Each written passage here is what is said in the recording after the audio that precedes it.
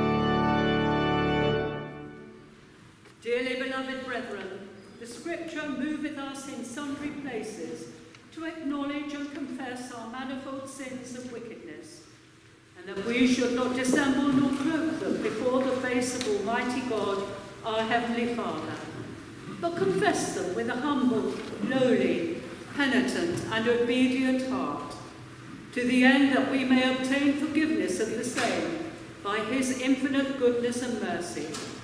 And although we ought at all times humbly to acknowledge our sins before God, yet ought we most chiefly to do so when we assemble and meet together, to render thanks for the great benefits that we have received at his hands, to set forth his most worthy praise, to hear his most holy word, and to ask those things which are requisite and necessary, as well for the body as the soul. Wherefore I pray and beseech you, as many as are here present, to accompany me with a pure heart and humble voice unto the throne of the heavenly grace, sitting or kneeling, to say with me,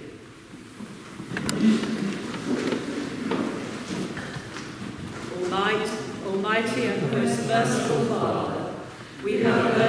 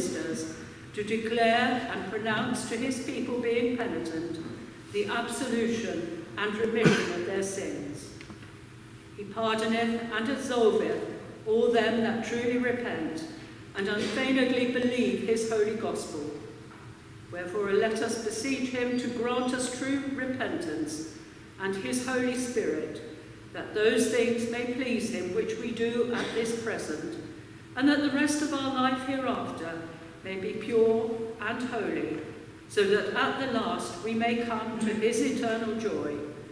Through Christ our Lord. Amen. Our Father, who art in heaven, hallowed be thy name. Thy kingdom come, thy will be Give us this day our daily bread, and forgive us our trespasses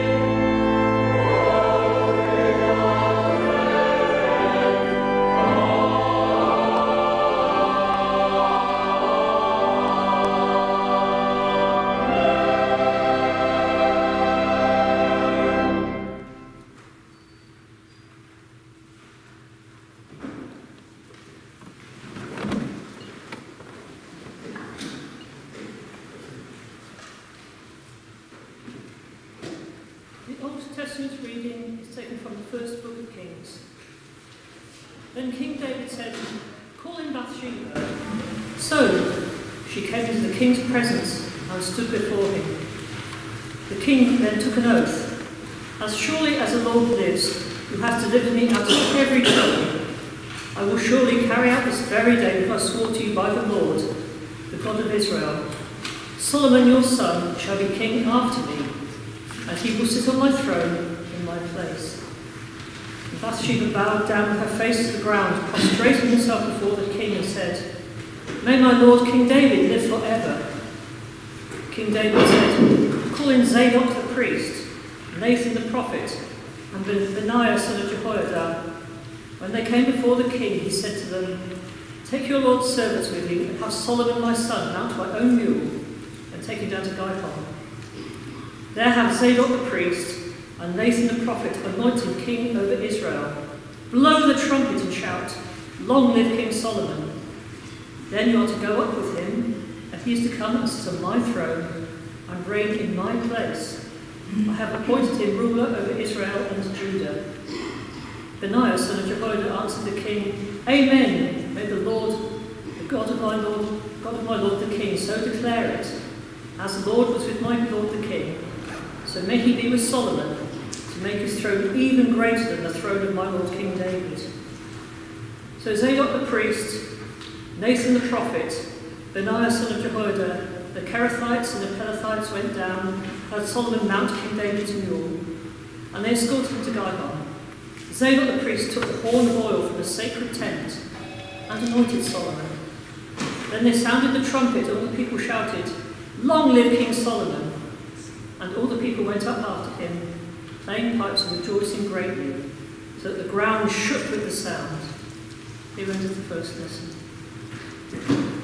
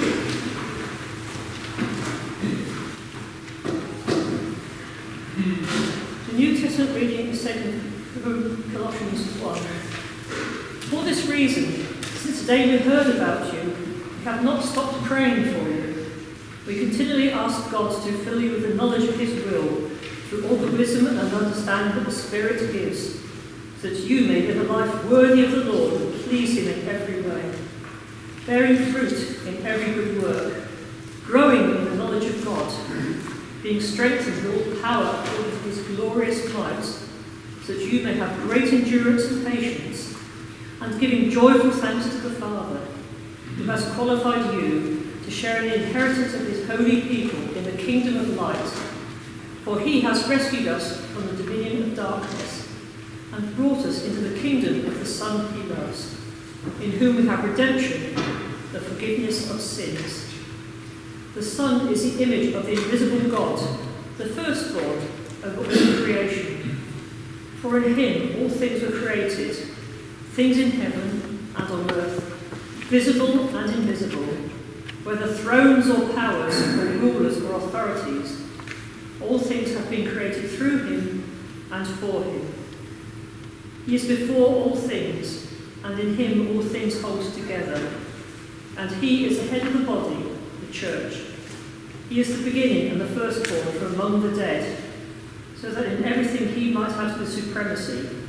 For God was pleased to have all his fullness dwell in him, and through him to reconcile to himself all things, whether things on earth or things in heaven, by making peace with his blood shed on the cross.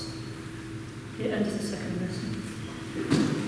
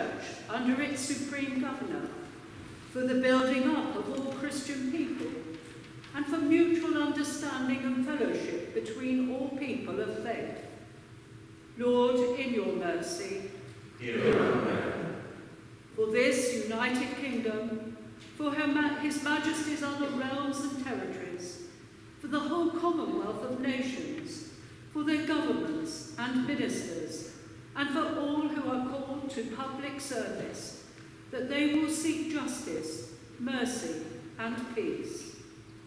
Lord, in your mercy. For the peace of the world, for the welfare of all people, for those who care for others, and for the environment, and for all in need. Lord, in your mercy. Loving God, you have taught us that the power of the heart is greater than the power of wealth and might. Hear us as we pray for the fulfillment of your reign. Ask this, we ask this through Jesus Christ our King. To him be glory and power forever. Amen.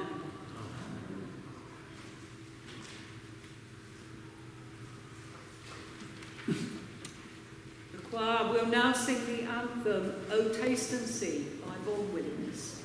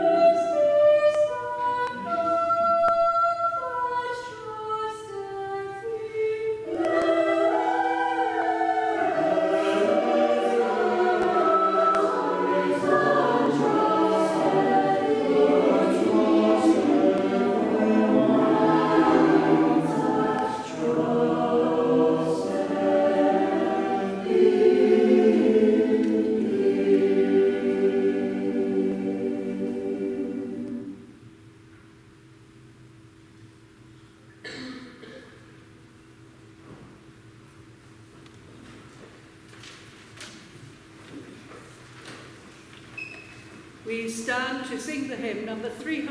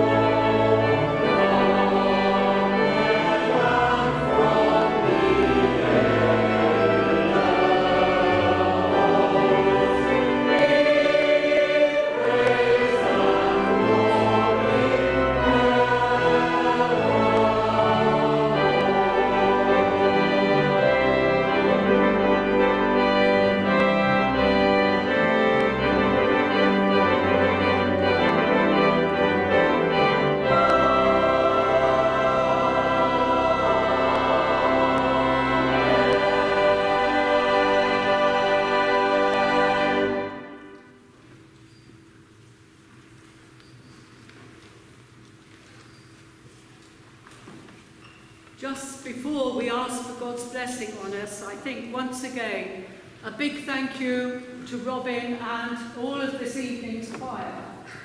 And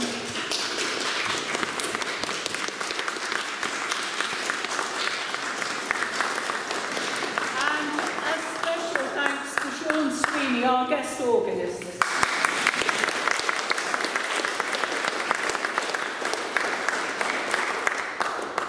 After the blessing, we will stand to sing the first two verses of the national anthem. I think it's two, isn't it? Sorry? Yes. yes. Which is 489 in case you're rusty about the second verse. Sorry? Yeah. If you read the words in the hymn book, you'll be out of date because, of course, the hymn book is not new. So we are singing to the King, not to the Queen. So we ask for God's blessing on us. God grant to the living grace, to the departed rest, to the church, the King, the Commonwealth, and all people, unity, peace, and concord, and to us and all God's servants, life everlasting, and the blessing of God Almighty, the Father, the Son, and the Holy Spirit be upon you and all those you love this day and forevermore. Amen. Amen.